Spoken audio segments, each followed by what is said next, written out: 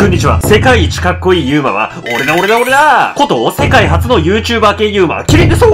ーということで今回はアメリカに存在すると言われる中二心くすぐる見た目をしていながらも超絶危険な UMA たちをたくさんご紹介していこうと思います。では、行くぜ行くぜ行くぜ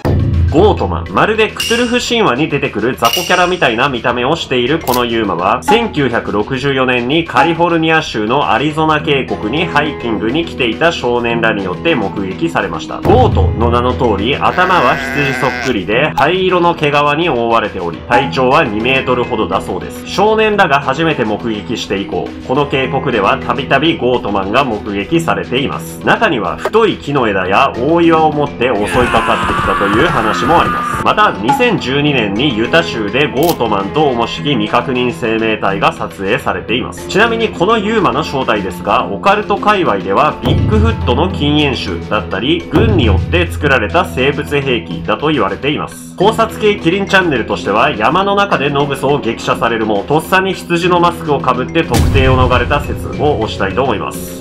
フラットウッズモンスター。幼い頃にこの姿を見てトラウマになった人もいるのではないでしょうか。フラットウッズモンスターは1952年にウエストバージニア州の街に墜落した UFO の中から現れたと言われている宇宙人元井ユーマです。最近でもこのユーマ事件を題材にした映像番組が作られるほど人気があります。目撃者の話では、スペードのエースのような形をした顔をしており、3メートル以上もの巨体で、某スペースオペラに登場する悪の帝王、ダース・ベイダーのようにシューシュー言いながら浮遊していたそうです。しかも金属が焼けたような異様な匂いがするため、機械生命体だとも言われています。また、このユーマは霧のようなものを辺りに噴出していたそうです。それを吸い込んででしまった目撃者は鼻や喉の痛みを訴えています。事件当時、街中はもちろんのこと、アメリカ全土にまでこのユーマに関する話題が広まり、特集番組が組まれることもありました。現在では、この事件は作り物だといった意見や、野生動物の見間違えという否定的な意見が多いですが、フラットウッズモンスターという存在は後のオカルト界隈に強い影響を与えており、それまで一部でしか知られていなかったメインインブラックという存在が世間に広く知られるきっかけを作っています。また、エヴァンゲリオンに登場する使徒のモデルにもなっていたそうです。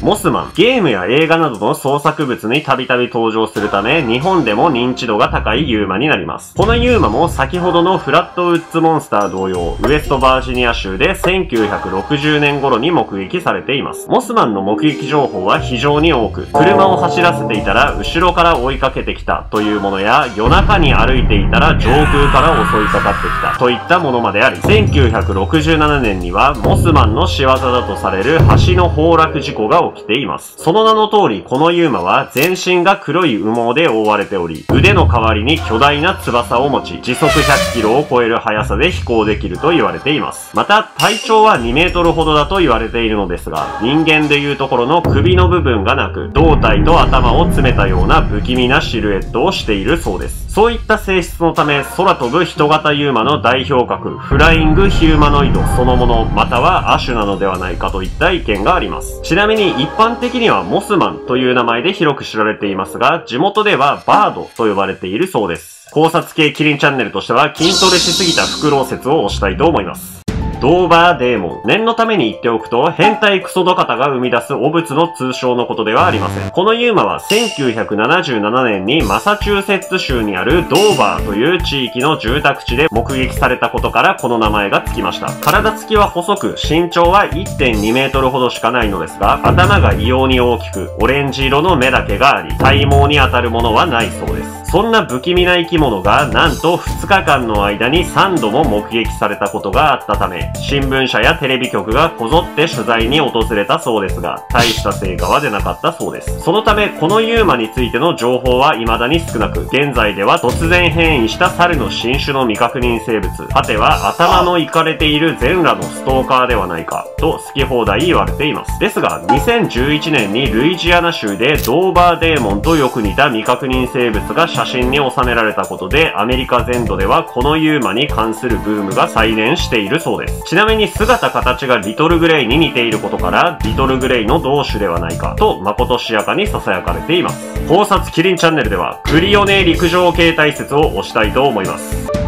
チュパカプラ。現地の言葉でヤギの血を吸うものと呼ばれているこのユーマは、1990年代半ばからアメリカやメキシコ、中国などで報告例のある世界的に有名な吸血ユーマになります。現在までにチュパカブラが原因と思われる被害は多数出ています。一説ではその被害は1000件を超えると言われており、今年ブラジルではチュパカブラに殺されたとしか考えられない鶏の死骸が60羽も発見されました。身長は1メートルから1.5 1.8メートルほどで背中にトゲがあり、アイスピックのように鋭い舌を家畜の血管に突き刺し、血を吸っているとも言われています。また、二足歩行とも四足歩行とも言われており、3メートル以上もの驚異的な跳躍力も持っているそうです。その正体については、宇宙人のペットとする説や、某国の軍が秘密裏に作り出した秘密兵器説、カルト宗教の儀式説など様々なものが存在しますが、最近では皮膚病を患ったコヨーテではないかと言われています。考察キリンチャンネルでは、チュパカブラ乳首吸うとき AV みたいに音立てる説を推したいと思います。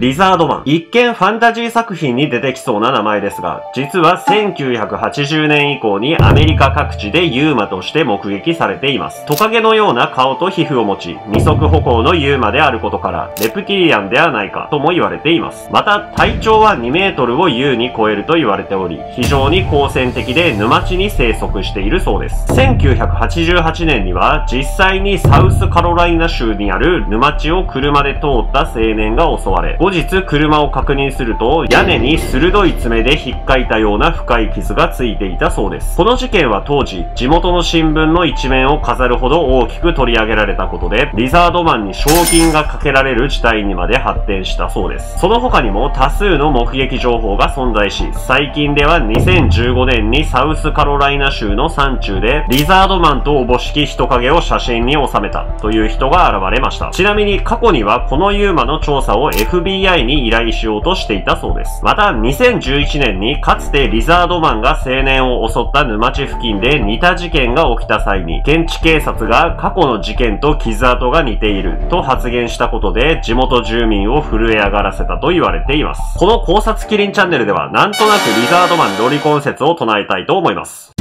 ジャージーデビル。ニュージャージー州やペンシルベニア州で1700年代から目撃されているユーマです。体長1.5メートル以上あるとされている体は黒で覆われ、背中にはコウモリのような翼が生えていると言われています。また、デビルという名前の通り、頭にはまがまがしい角があり、尾骨のあたりから長い尾が伸びているそうです。また、最近では2008年に目撃されており、過去には懸賞金がかけられたこともあるそうです。ちなみに、ジャージーデビルはその特徴的かつ不気味な姿からアメリカでは多くの人が認知しているため映画や小説で取り上げられることも多いそうです。キリン考察チャンネルではこの写真掘られた直後説を押したいと思います。はい、ということで今回こんな感じなんですけど、この動画を最後まで見て乳首の扱いに関してはチュパカブラはキリンの足元にも及ばないと思った方は高評価とチャンネル登録、Twitter のフォローをよろしくです終わりーはい。えー、今回はですね、ちょっと真面目なトーンでお話ししようと思うんですけど、ちょっと現在ですね、結構有識事態が起きてですね、あのー、何かっていうとですね、あのー、なんと皆さんご存知の方もいると思うんですけど、あのー、全国のセブンイレブンとローソンで、えエロ本の、え販売をですね、え中止するっていうニュースが、え出てきましてですね、まあこれについてちょっとですね、まあかなり、うーん、まあ残念というかですね、まあ、由々しき事態、うん、遺憾の意を証明したいと思うんですけど、まずこれをですね、ちょっと今緊急事態なのでどうしたらいいのかなっていろいろ考えたんですよね。やっぱ本の時代が、じゃなくなってペーパーレス化とも言われてる時代なんでですね。まあ、その代わりにその、エッチな DVD を置けばいいんじゃないかとか、まあ、そしてさらにですね、まあ、セットとして点がコーナーもちょっと設けて、えー、セット販売を狙って売り上げアップ、えー、売上げアップすることによって、やっぱりその、コンビニのオーナーさんもですね、ちょっと設置してみようかなみたいな。まあなんかね、あの、タバコとかお酒とかもそんな感じらしいんですよ。なんかあの、結構、あの、単価が高い、利利益がなんかいいらしくてですね。まあそれのようにですね、まあそういった、えー、こと考えたりとかですね。あとはまあ、エロ本実現党としてですね、まあ政界進出、まあ出馬もちょっと、えー、検討してみたり、まあいろいろしてみたんですけどね、まあ、うーん、ちょっとね、これは、かなり悩みましたね、僕はこの問題に関しては。うん、ただですね、まあ、うん、まあ、考えに考え抜いた結果ですね、まあ、ある一つの結論に至りました。まあ、それはですね、うん、まあ、何かというと、あのーまあ、要するに、その、ネットでエロ動画を見ればいいんじゃないかと。はい。ていうことで、えー、この問題は無事に解決したということで、あの、皆さん、えー、大変心配、ご心配おかけしたと思うんですけれども、はい。あの、無事解決に至ることができました。ありがとうございました。